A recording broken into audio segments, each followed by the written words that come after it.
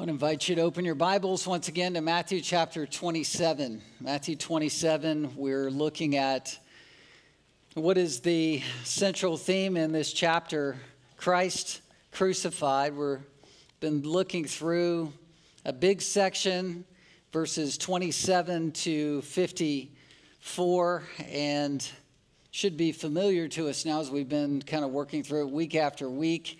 Hopefully, you're learning this section. It's an important section because everything in all of time and space and then broader in eternity is centrally pivoting on this moment where Jesus at Calvary 2,000 years ago is suspended, pinned to a cross my theme has been the idea of reactions to this. Christ crucified initiates four visceral reactions, which represent the whole of the human condition.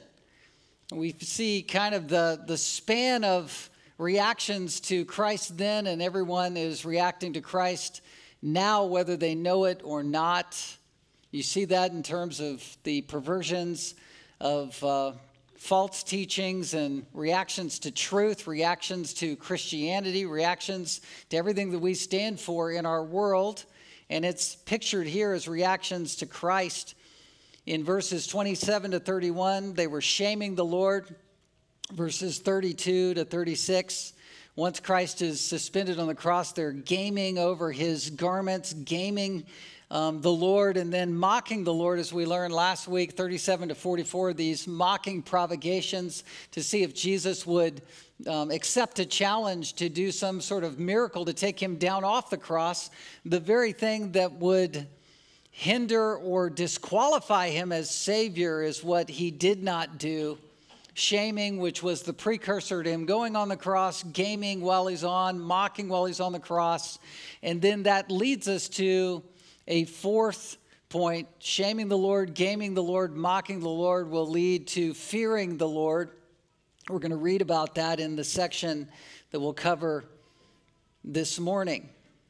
There is, by way of context, an increased intensity and recklessness in hate of Christ in this section, but we'll see that verses 45 to 54 turns into a story of redemption, a redeeming story of grace. In the midst of chaos and darkness, you have light shining in the hearts of a few soldiers at the foot of the cross.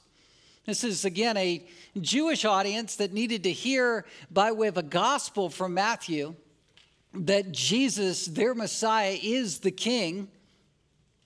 This conversion story is for Gentile Roman soldiers coming to Christ as a witness to Jews who needed to come to Christ. You might remember your testimony, your story. Maybe it was simple and undetectable as a childhood conversion can be, or it was dramatic and circumstantial, and you can see all kinds of providential push that was happening in circumstances. But your conversion, though it might have been catalyzed from the outside, where you were brought to the, a crossroads moment, a decision point of choose Christ or reject, that might all have been happening on the outside, but on the inside, conversion happens as a matter of the heart. Conversion is always from the inside out, not the reverse, though we hear the message from the outside. Faith comes by hearing and hearing the word of Christ. Preachers or gospel witness people will say, Believe on the Lord Jesus Christ and you'll be saved. That's what Paul said to the Philippian jailer. All of that comes from the outside, the word coming from the outside, but conversion happens from the inside where God does the radical heart surgery of taking out the heart of stone and putting in a soft heart of flesh. He makes you born again. It's always that way. Dynamic circumstances do become a testimony, though. That's what you'll hear about where people testify in the waters of baptism, or if you ask them about their testimony, this was happening, that was happening. Circumstances are, are drawing people to a nexus point in their lives. And Matthew here is really showing the testimony of four soldiers, one centurion in particular, who claims Christ as the Son of God.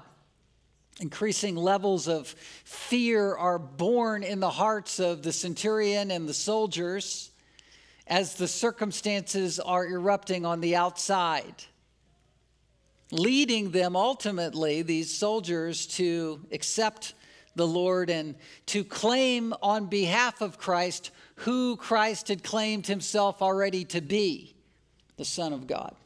Let me read our text with that as a background.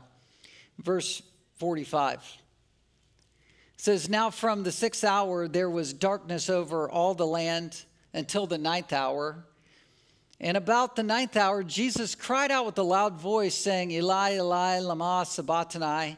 That is, My God, my God, why have you forsaken me? And some of the bystanders hearing it said, This man is calling Elijah. And one of them at once ran and took a sponge and filled it with sour wine and put it on a reed and gave it to him to drink. But the others said, Wait, let us see whether Elijah will come and save him. And Jesus cried out again with a loud voice and yielded up his spirit. And behold, the curtain of the temple was torn in two from top to bottom, and the earth shook and the rocks were split. The tombs also were opened, and many bodies of the saints who had fallen asleep were raised. And coming out of the tombs after his resurrection, they went into the holy city and appeared to many. When the centurion and those who were with him, keeping watch over Jesus, saw the earthquake and what took place, they were filled with awe and said, Truly, this was the Son of God. Verse 54 is the end of this section and really the highlight of this section because this is the conversion moment for these who are watching Jesus die. It says the centurion and those who are with him, meaning this sort of guard of four at the base of the cross they are being converted as Christ dies, they're being brought to life. Christ's death meant life. Mark's account of this pans in closely into the face of the centurion, looking into the face of Jesus. Mark 15 39 says, When the centurion who stood facing him saw that in this way he breathed his last, he said, Truly, this man was the Son of God centurion and Jesus. Jesus posted probably seven feet high on the cross. The centurion looking into the face of Jesus with all chaos breaking loose around him, sees into the face of Jesus something unique and different.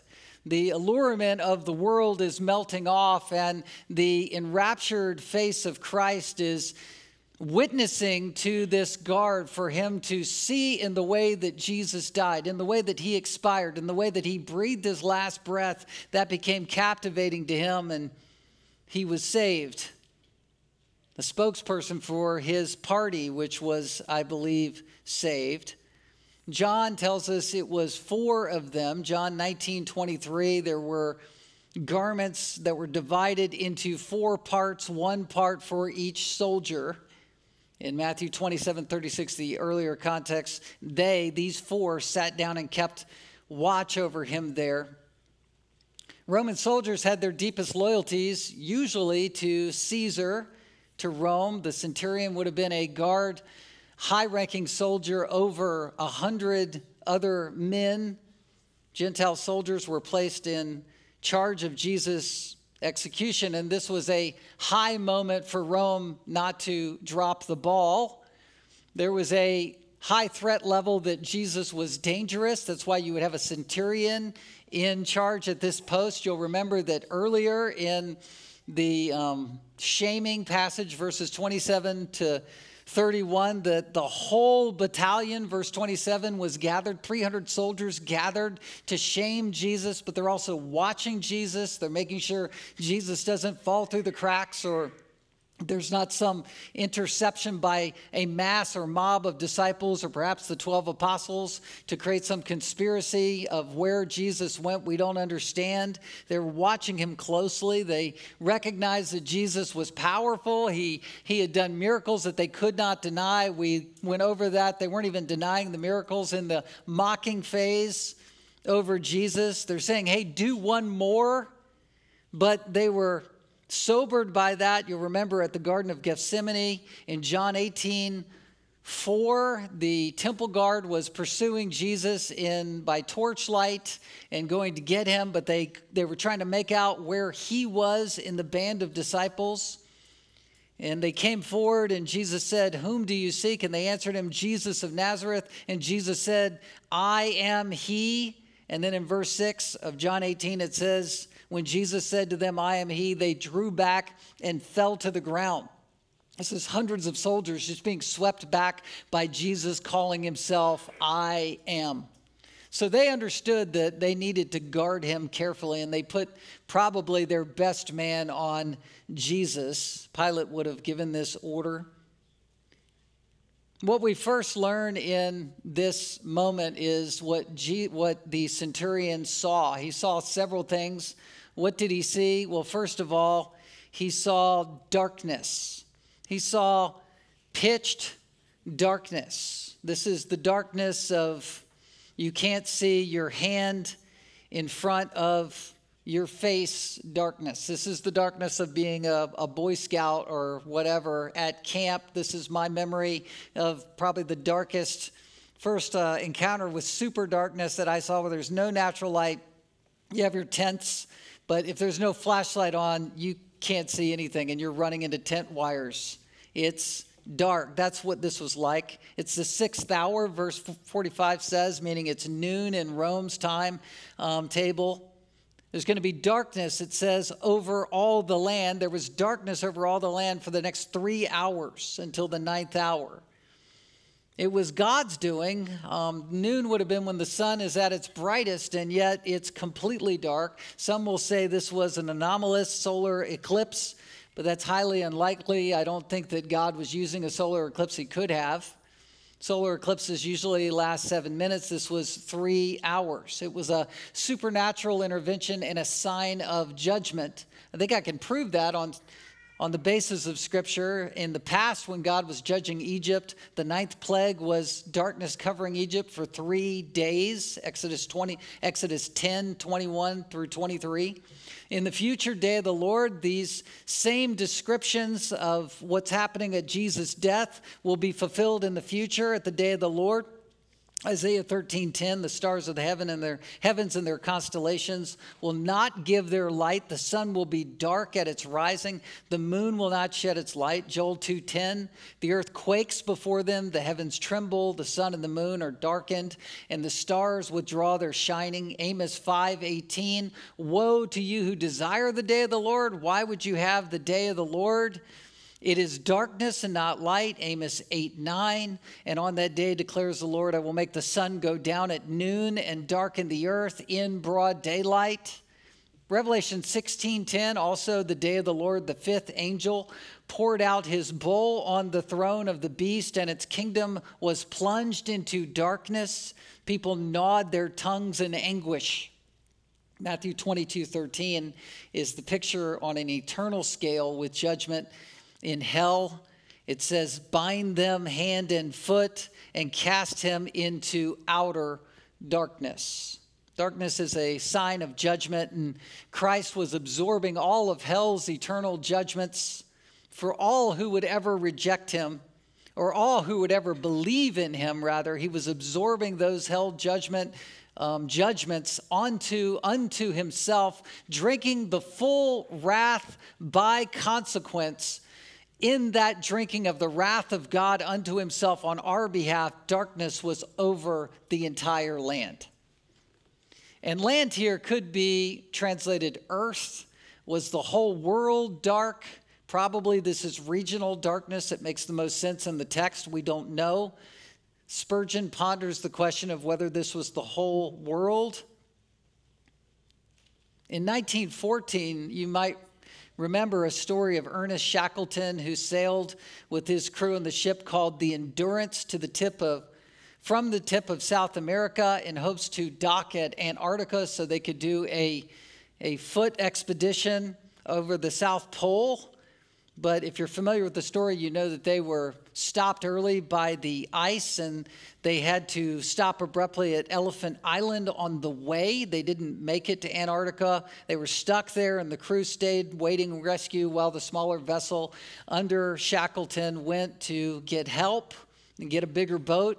During that time frame, they the crew that was um, deserted on Elephant Island, lost limbs and, and frostbite and some things that were horrible in description. But what was most horrible to them was what they called the polar night, which means it was always dark in those months. Another account of darkness in our country's history was a disorienting weather event. It was May the 19th, 1780, in the colonial period. At 10 a.m., everything went dark. I looked it up on the internet, so it must be true. There's a lot of historical record to this. Um, it's called the New England's Dark Day. It spanned New England up into Canada. There was um, forest fire smoke and fog came in and just covered everything in darkness. Candles were lit. Joseph Plumb Martin, who was a soldier uh, during that time in the Connecticut militia, he commented on it in this way said people on the eastern seaboard noticed a strange haze spreading across the sky. By noon, schools were dismissed, candles lit, torches set in the street, birds went to roost. By one in the afternoon, fear had turned into panic as the premature nightfall continued. Thousands crowded into churches to hear ministers expound the day of judgment. In Hartford, Connecticut, both houses of legislature were meeting. But one of them quickly dismissed since the members thought the world would end at any moment. And the other body continued, although greatly distressed. One man finally motioned to disband since the day of reckoning was thought to have come.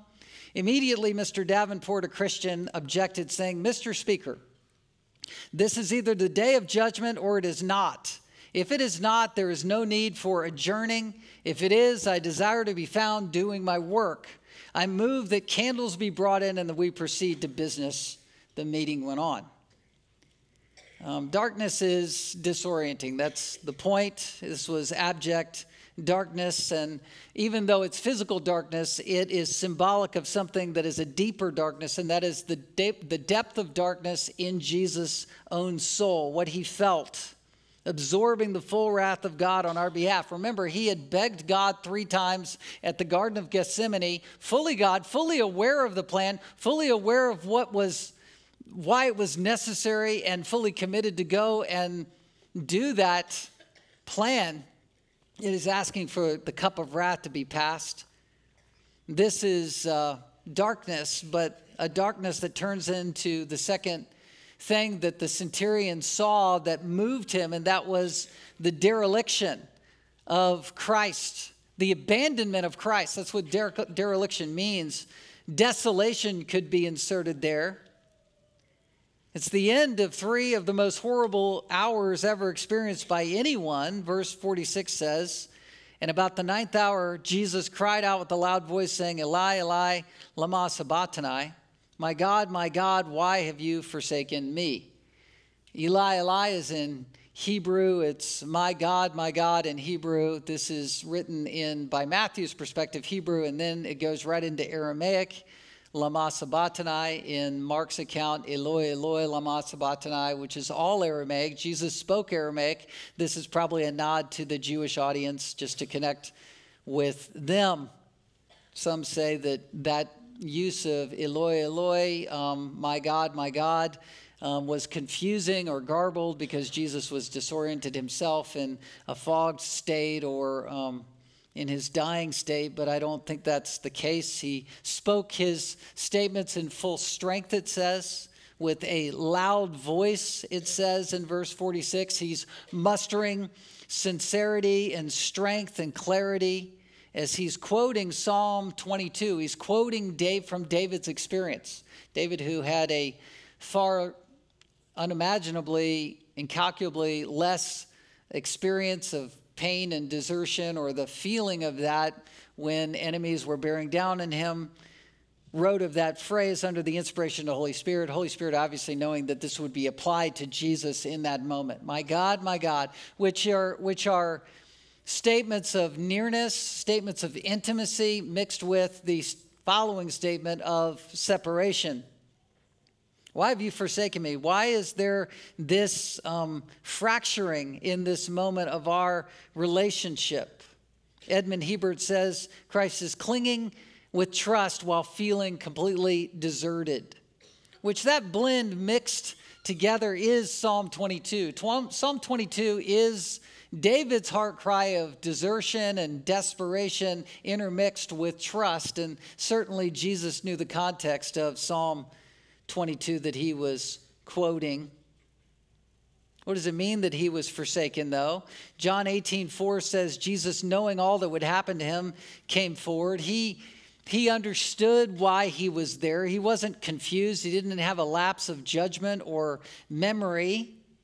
These were foreordained circumstances for Christ. And Christ, in his greatest moment of desperation, grounds his experience in Scripture, which, by the way, by way of application, when you're in your deepest, darkest moments, ground them in Scripture.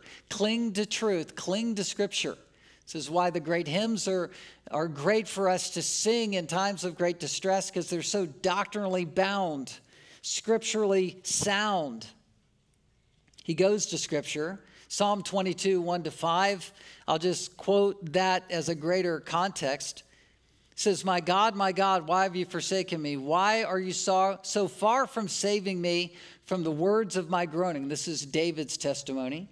Oh my God, I cry by day, but you do not answer, and by night, and I find, but I find no rest. Yet you are holy, enthroned on the praises of Israel. In you our fathers trusted, they trusted, and you delivered them. To you they cried and were rescued. In you they trusted and were not put to shame. Here's the balance desperation and hope. Yet this is a statement of Christ under judgment, under judgment, that he in his life ministry and obedience did not deserve. He's the most undeserved of this moment. And yet, all of the wrath judgment of all of the eternities of hell for all who would ever believe come upon Christ as a curse. And so Christ, who is holy, is enshrouded with unholiness, with the vileness of, of darkness all over him. And in some mysterious event which we can't explain or fully understand, there is a severing in the relationship in that moment where Christ is crying out a cry of dereliction It's between the Father and the Son. Galatians 3:13 Christ redeemed us from the curse of the law by becoming a curse for us. For it is written cursed is everyone who hanged on a tree. 2 Corinthians 5:21 For our sakes he made him to be sin who knew no sin that in him we might become the righteousness of God. He experienced that so that we didn't have to. He experienced abandonment so we didn't have to. Was God the Father always there with him? Of course, you can't separate the Trinity ontologically in terms of what it is. You can't ungod God. You can't ungod Christ. Did Christ die? Yes. Did God die? No. Did Christ die in his full humanity? Yes. Did Christ die as God? No. Not in the sense that God cannot, he can't die. So, how do you put those together? You just say yes to all of it because Scripture says yes to these things. Did Christ genuinely ask in his full humanity for the cup of wrath to pass so he wouldn't have to go to the cross? Yes. Did he know the plan all the while? Yes. In hell, will people be forever abandoned by God? Yes, because they're experiencing the full wrath and, and condemnation of their own sin and their own rejection of God in this lifetime. And yet, at the same time, Christ will be there executing judgment. These are the tensions of Scripture. The dereliction that Christ is experiencing is Him bearing the full weight of hell on your behalf so that you don't have to. Well, that is dereliction. The centurion saw darkness, he saw dereliction, and he also saw derision. Now, not participating, He's watching mocking going on. Verse 47 And some of the bystanders, hearing it, said, This man is calling Elijah. And one of them at once ran and took a sponge and filled it with sour wine and put it on a reed and gave it to him to drink. But the others said, Wait, let us see whether Elijah will come and save him. Again, the bystanders are trying to provoke Jesus in one last ditch effort to a, a show of supernaturalism, some kind of superstition, a superstitious act for him to save himself. This is the draw and allurement of um, sort of hyper supernaturalism that can invade the church as a distraction, as a, as a detour away from the true gospel and the doctrine of Christ. They are not confused. They certainly heard Jesus quoting Psalm 22. They knew their Bibles, but they're saying, is he calling out for Elijah? I guess it's I guess it's possible that someone could have heard it that way, but really what they're doing is they are acting like a fool who says in their heart there is no God. They're acting like the atheist or the agnostic that says I, you know, I can't understand God. There can't be a God. We're the pinnacle of uh, existence. Or nowadays, when you hear people talk about existential or universal realities, people say there must be higher intelligence, but it's not God, it's alien intelligence. That's where people will go in their minds. Humanity can't be the pinnacle of things, which is all a distortion and a distraction from humans that are made in the image of God that Christ came taking on humanity to die for. And the redemption history is being obscured and done away with. That's what they are doing here. Well, he's talking about Elijah. They were familiar with their Old Testaments. They knew Elijah had left uh, by way of a chariot into the sky when the mantle was handed over to Elisha, his mentee. And so they're just saying, well, maybe he'll come back. In fact, let's run and Jesus had said, I thirst. Let's run and get him some wine on a sponge. This is a second event, not the wine and gall to numb his pain, but let's get him some wine to refresh him, to keep him energized so he can perform this trick for us and summon from the heavens Elijah to rescue him. We want to see this. And they believed he could do it. That's what they were doing, but they were trying to disqualify him, to discredit Jesus. Charles Spurgeon said this. I thought this was interesting. It's always, he says, it always seems to me very remarkable that the sponge, which is the various, very lowest form of animal life, should have been brought into contact with Christ, who is at the top of all life. As the sponge brought refreshment to the lips of our dying Lord, so may, so may the least of God's living ones help to refresh him now that he has ascended from the cross to the throne. Jesus said he was thirsty and he was fulfilling prophecy, John 18 28. But this was no move of mercy for the Lord. They were mocking him.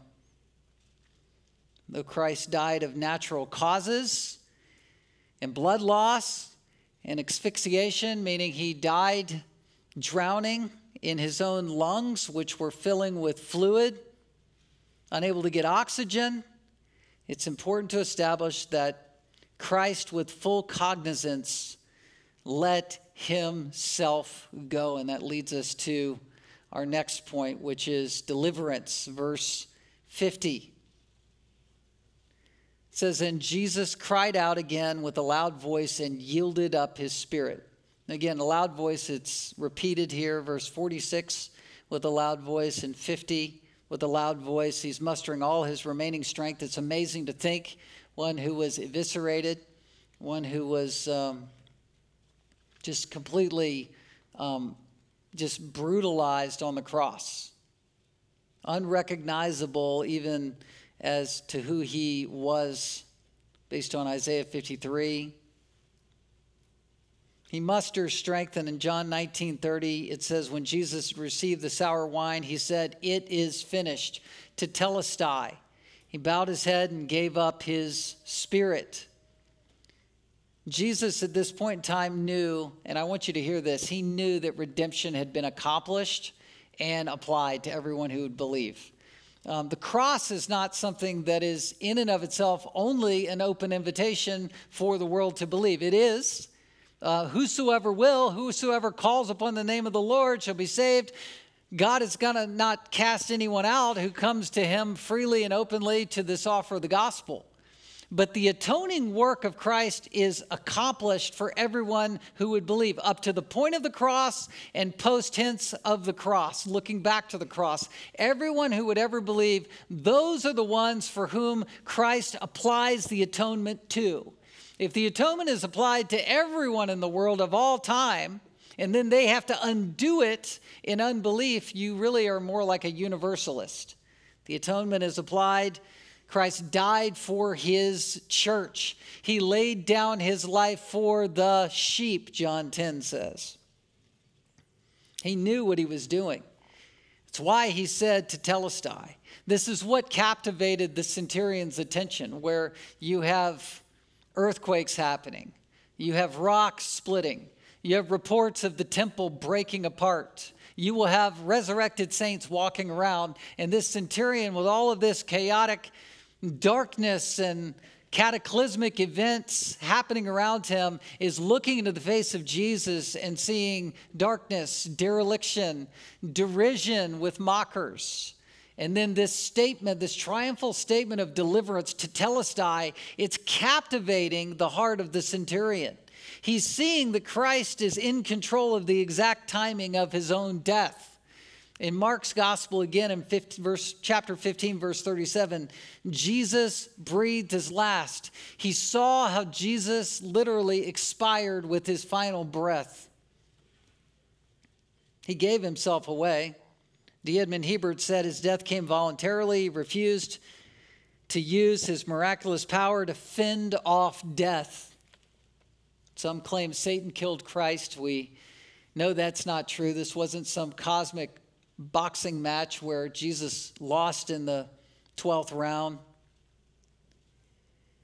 Satan had the allowance to bruise the heel of Christ, Genesis 3:15, where Adam and Eve are being cursed for their sin says, I will put enmity between you and the woman. This is for all of mankind. And between your offspring and her offspring, there's enmity. Satan is the sworn enemy of Christ.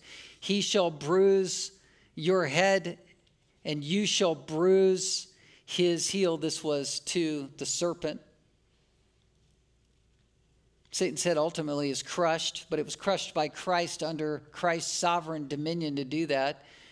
John 10 18, no one takes it from me, meaning his life, but I lay it down of my own accord.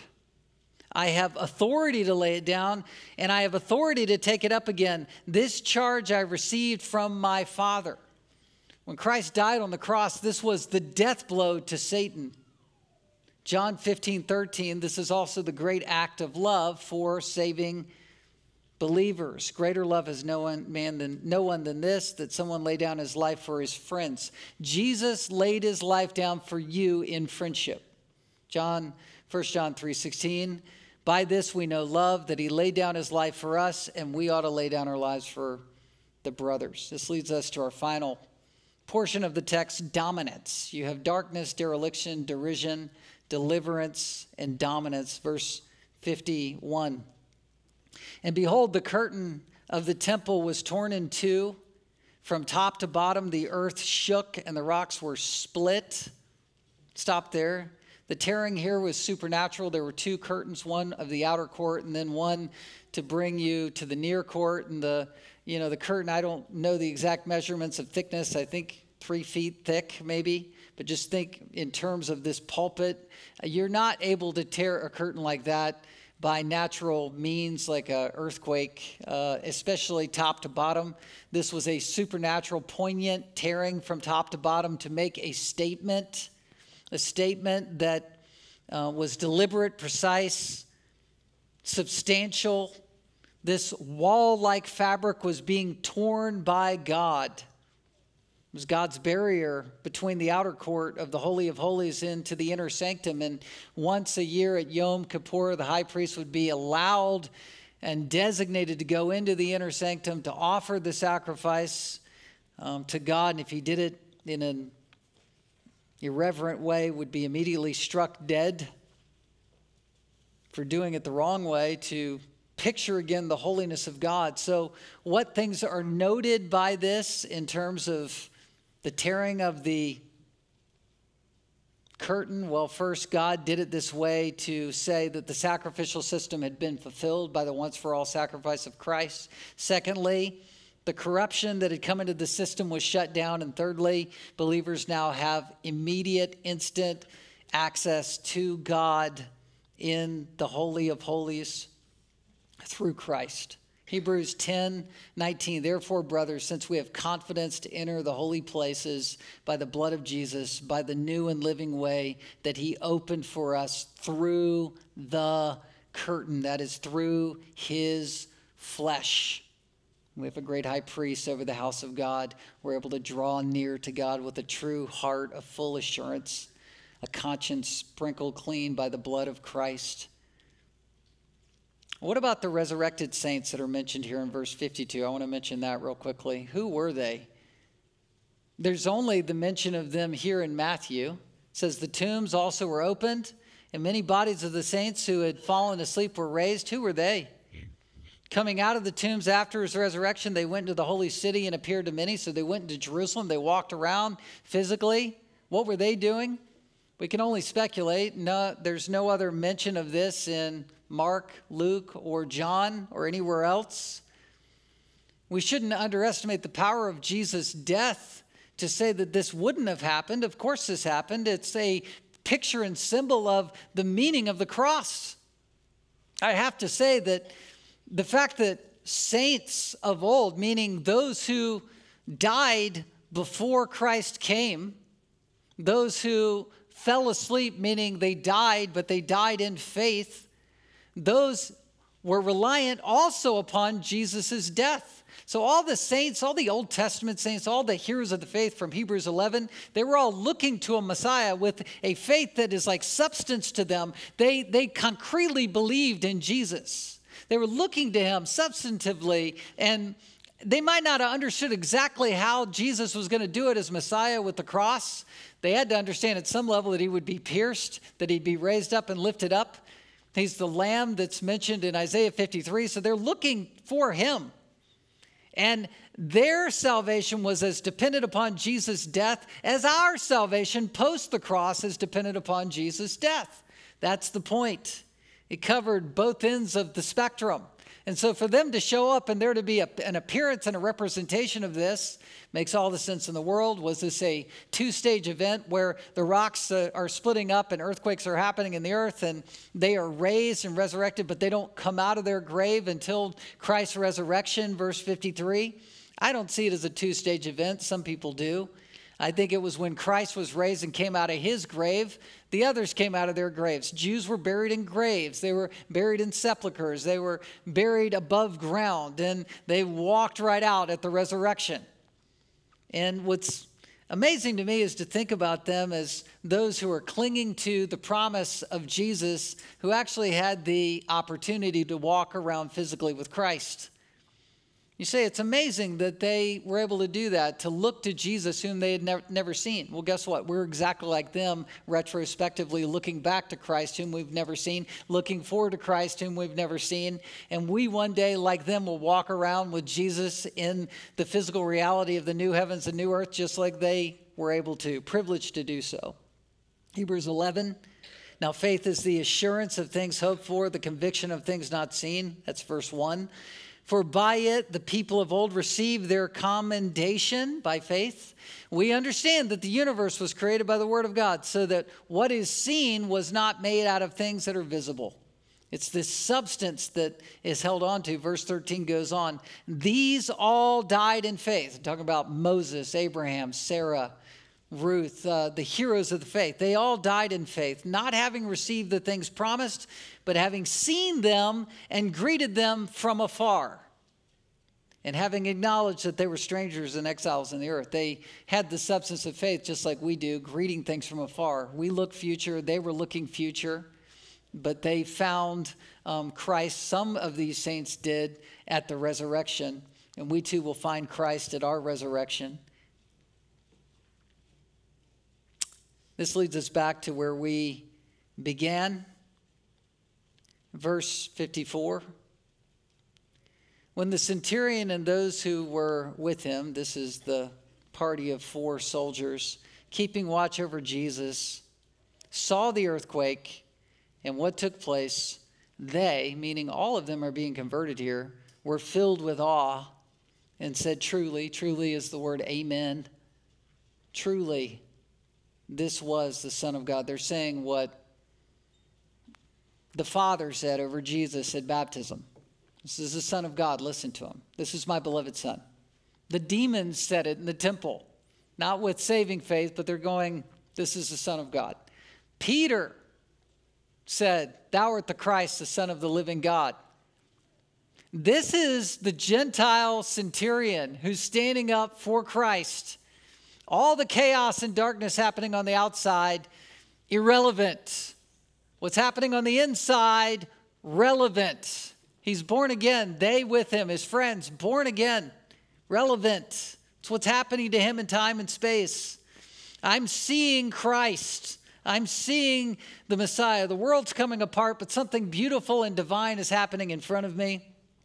Jesus died before his eyes in strength and in weakness. He was seeing the God man, the divine congruence. Soldier's darkened heart was dawning with new life. He didn't understand all that was happening and the significance there. We know now that there's so much that was going on at the cross. John Gill, the English pastor scholar of the 1700s, put it this way The whole will of God that he should be incarnate, be exposed to shame and reproach, and suffer much and die. The whole work his Father gave him to do, which was to preach the gospel, work miracles, and obtain eternal salvation for his people, all which were now done or as good as done, the whole righteousness of the law was fulfilled, and the penalty of death endured, the redemption from its curse and condemnation secured. Sin was made an end of, full atonement and satisfaction for it were given, complete pardon procured, peace made, and the redemption from all iniquity obtained. All enemies were conquered, all types, promises, and prophecies were fulfilled. And his own course of life ended, and the reason of his saying so was because all this was near being done just upon finishing and was as good as done and was as sure and certain and so complete that nothing need or could be added to it. This is the Son of God who came not to save through conquest, but through suffering. The light had dawned in the heart of the centurion. Has the light dawned in your heart? 2 Peter 1:19. Has the morning star of belief and faith has that risen in your hearts? Nobody wants to stay in darkness. Jesus hung there in darkness in the cro- on the cross so that you could come to the light. Have you come to the light of Jesus? Have you believed and said, Where else have we to go? You alone have the words of what? Eternal life. Do you believe in the Lord Jesus like these soldiers did? You should. This is the witness for you to believe in Him as the Son of God. Let's pray. Father, thank you for our time. Thank you for the witness of your word, for the truth therein. We praise you that you are not dead on a cross, but you are the risen Lord, and you've risen in our hearts um, as we have believed in you. Lord, I pray that we would go out into the world and we would offer this message in the way we live, that they would witness the silent witness of Christ in our life and the witness that speaks through the words we say or do not say, and the way that we hold out the truth so that people can be made free. In Christ's name we pray. Amen.